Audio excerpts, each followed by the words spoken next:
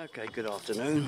It's uh, about two o'clock and it's Friday the 22nd of May and I'll uh, do the intro and then I'll um, going to show you a bit that I did from the other day and never completed so I'll chuck that in there now then I'll get back to you.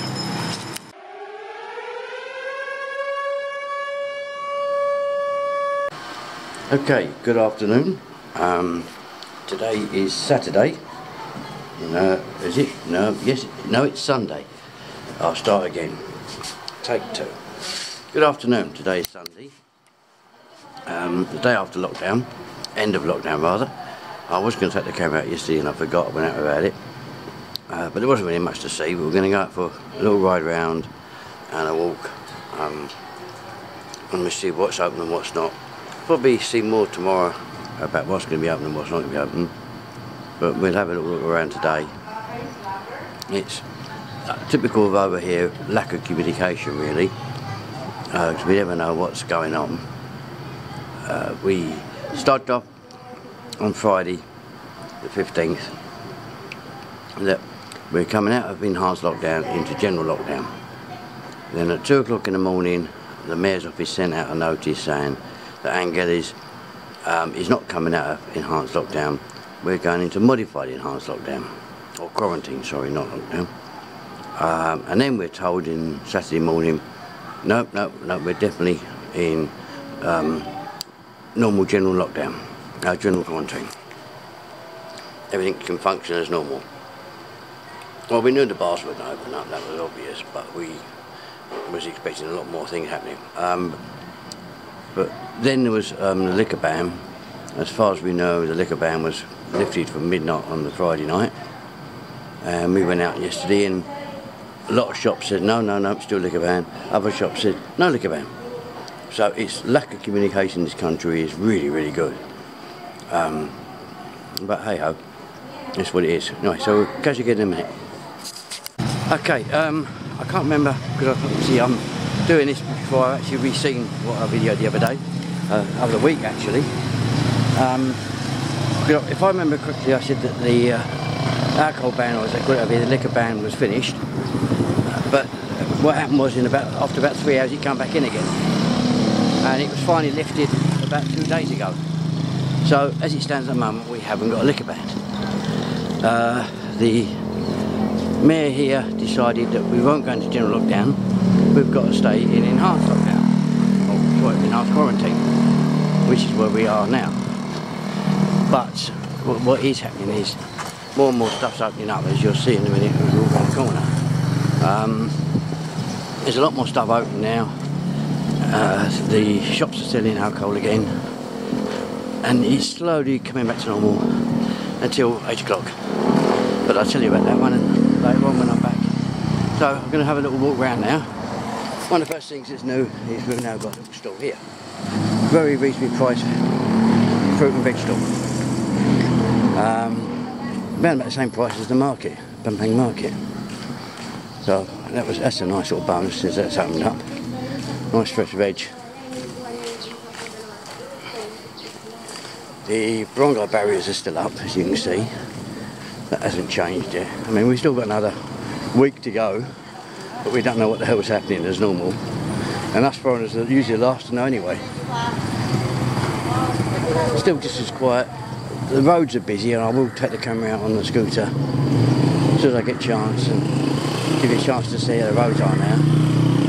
The roads are getting a lot busier, without doubt. Right, I'll catch you again in a sec. Well, I've just been in the mini stop here, this one here. Um, that's our local one. You've been there with me before. And they've still got the liquor ban in here. It's pretty strange. Ministop round where we used to live selling alcohol, both of them. One in Santos and the one in uh, Macarthur.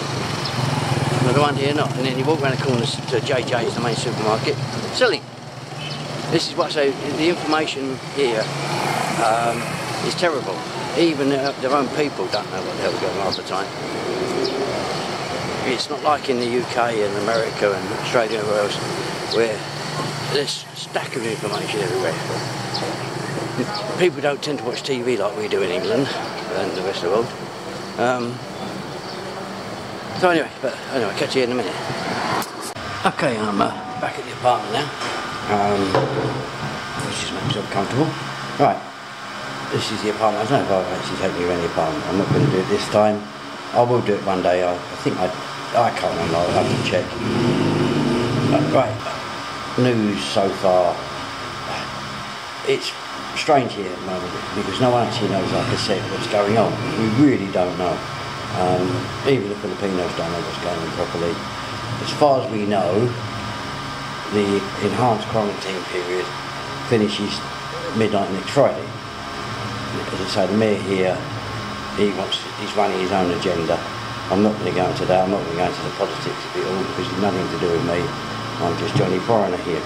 Um, so we, we accept everything that's going on and we're very polite to everybody and we, we have to take it as it is. Sorry, I'm, I'm getting uncomfortable sitting like that. I'm trying to get the best comfort position to talk to you. Sure, setting up the video and everything else on the table, which I don't really feel like doing. Yeah, so we don't know what's going on. And as I say, I don't think even the Filipinos know what's going on properly here. It is what it is. We know we can now buy booze. So apart from the mini stop, as I just said, the mini stop here, everywhere we've been, including the, the supermarkets. I don't know about SM, we haven't been over there again lately. Um, went over there the other day and the booth part was shut then, but so was everywhere else.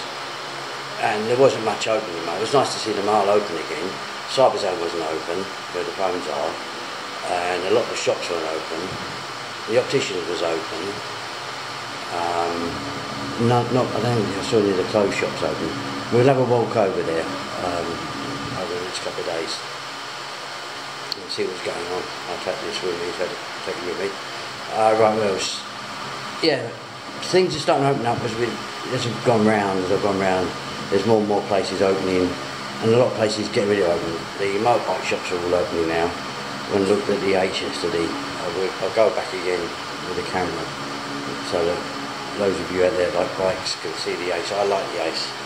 Um, you've got a nice one in there. Works out about, I think about 1600 quid. It's gorgeous. Fully kitted out for touring. It's a 400cc bike. British design. The guy that made the Ace in Britain packed up and came over here and it's now made down in Subic. So, excuse me, it's a, although it's British design, it's actually built here. And as I say, it's built by a British guy. Uh, what else? Yeah, so I'd love to go to one of them. Maybe next time I come over, when I've got my full pension, I can afford one. It, when I come over with full pension, etc. Right, what else? The other night, um, I was coming back. I went out to get some booze, and was coming back about quarter to eight back in, which is uh, 1945 for us clever people and come back into the Brongo and they, they were just getting to put the barriers up for 8 o'clock for the curfew, 2000 hours for the curfew.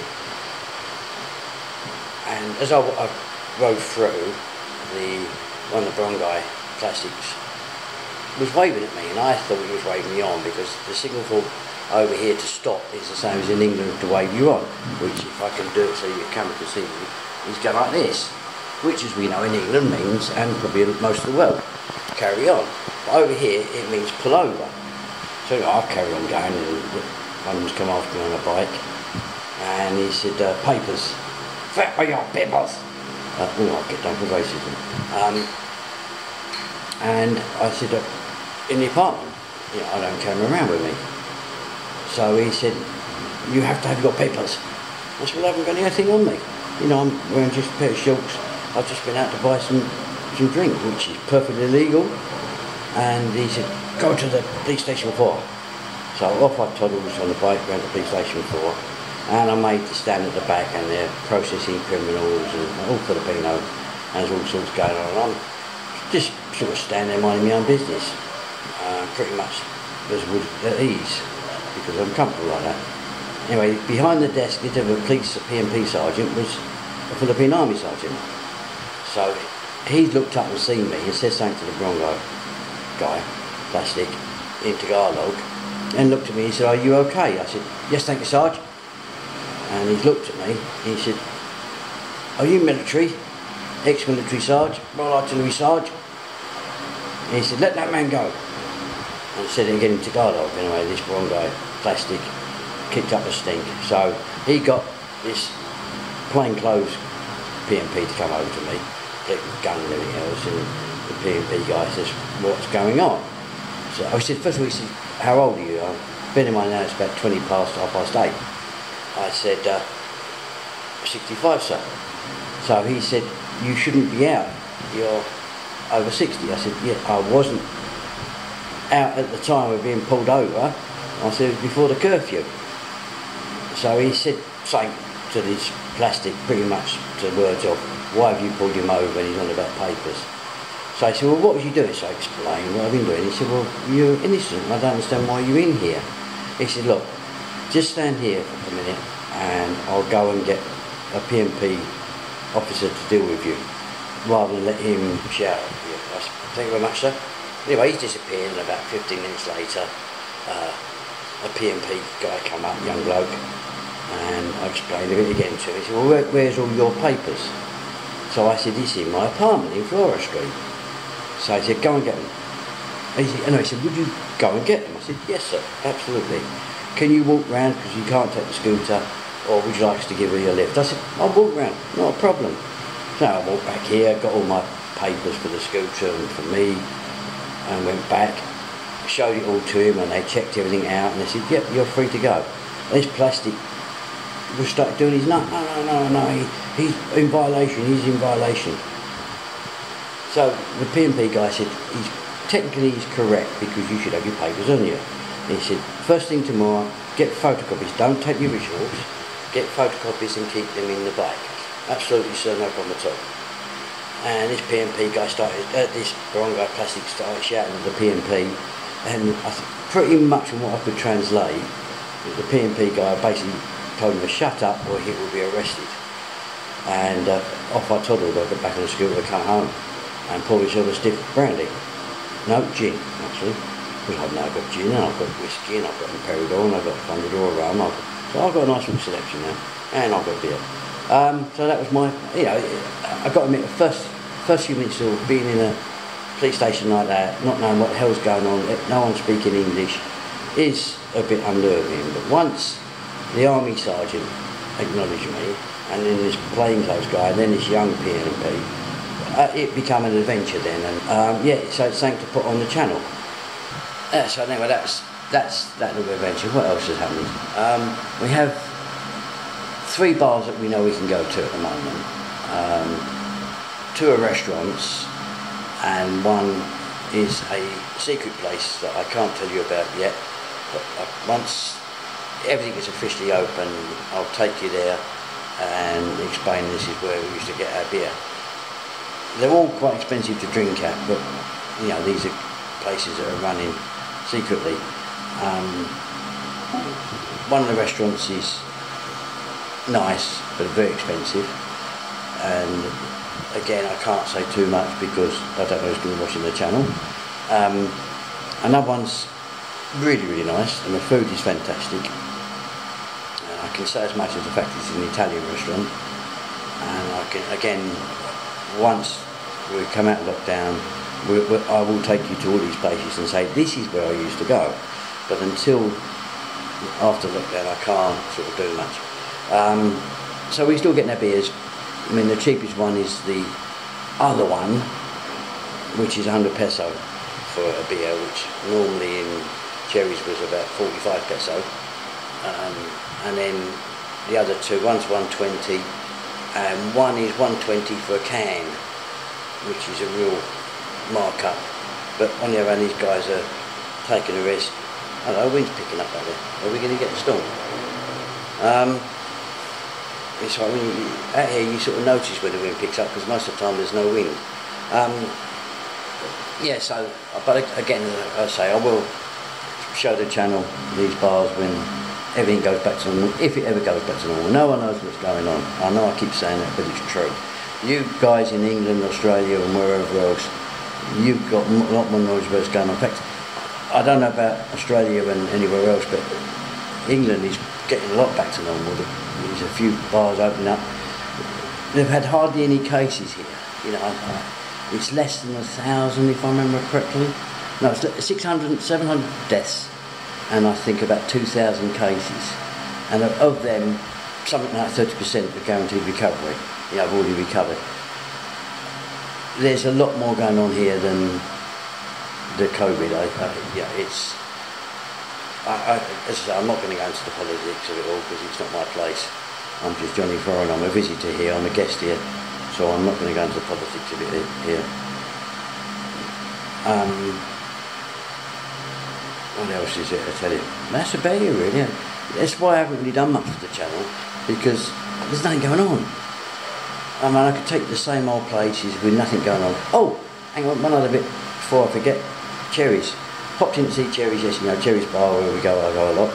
Uh, popped in there yesterday, they've now taken their beer delivery, so they're ready to open as soon as they get the nod that they can open.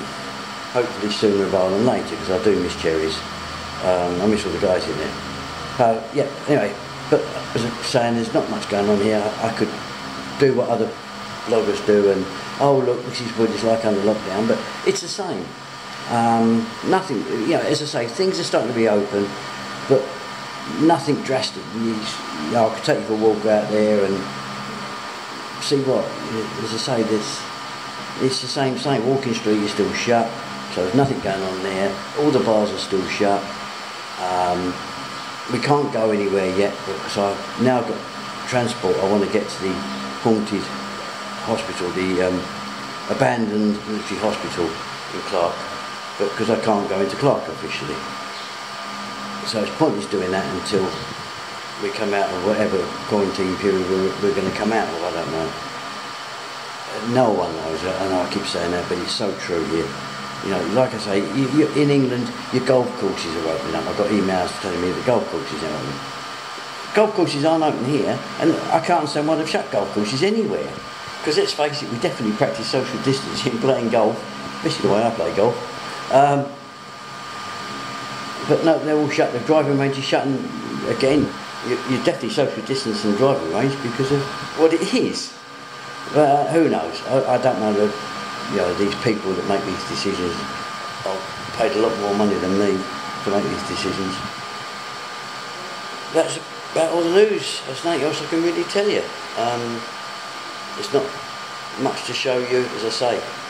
If anything happens, I, I will. If things change and when it opens up, then there'll be more content. Now I can upload it quickly. I mean, this will be edited probably this afternoon and uploaded this evening when it gets a bit cooler out there because it's hot to sit out there with a laptop. Um, so when I can, I'll do stuff. And it's ridiculous to say now I've got a chance to be able to upload stuff quicker because of the Wi-Fi. Um, there's nothing much to tell you. I mean, I'll keep going, I'll take the camera out and then show you what. I can't take you in the bars I go to because that's not allowed for obvious reasons. Um, going out on a bike ride, you know, when I go on a scooter, you've seen it all again, I don't want to bore people on the channel. I'm trying to avoid that. Um, I've gained a few subscribers, which is nice. Not getting the views that I'd like, but hey ho. After everybody under lockdown and quarantine, and else you might be, I might get more views, but I don't know. One day I'll find the, the magic formula. But anyway, that's it for now. Um, as I say, I'll, get this edited in the next few minutes, and get it uploaded this evening so it'll be your morning in England, uh, your early morning in America and your late evening scrumpy. Alright scrumpy mate, uh, in uh, Australia. So, to everybody, oh, if Angel watches this quickly, um, I would I would have wished you happy birthday anyway by now, you and your mum. Happy birthday to the two of you. Uh, hopefully we'll all meet up soon uh, along with JC and Carlo Howie. We hope we all meet soon for a drink and a good laugh and up to Carimo. Um, just thought I'd give you all a mention, especially Angel for his birthday. Think that's about it for now. Um, Pat and all the other guys in England, keep safe. Rick, Rose, see you and Don and everybody else. I'll see you all very soon, I hope. Who knows? I don't. I've got no idea. I know the flight's starting in Clark Emirates are flying out on June the 1st and I was talking to an English guy on one of the Facebook pages and he's booked a flight out for June the 1st, costing, wait for it, £1,600. So yes, I can fly home from June the 1st, but I am not paying 1600 quid. Sorry about that, I know you guys really want me home, but I'm not doing it. When the flights get to normal and everything else, I, I should be coming home and I should be coming back. I will be coming back here. I love it here. Despite everything that's going on, I probably had a lot more freedom than you lot in England. Up until now, you seem to be getting the freedom back again. But I love it here. It's a fantastic place to be. And I think that's about it. So right, don't forget please, thumbs up if, on, on YouTube preferably, uh, if you've enjoyed this video, and I hope you have. Uh, would love some comments. Um, what else? That's about it really. Um, please share, share, share, share, share, share, share, share, share. And tell all your friends. And if you're not really a subscriber, please subscribe. And I'll catch you all again whenever it's going to be for the next video. As soon as something happens, I'll be doing another video. But till then, Bye bye. Take, take care and stay safe.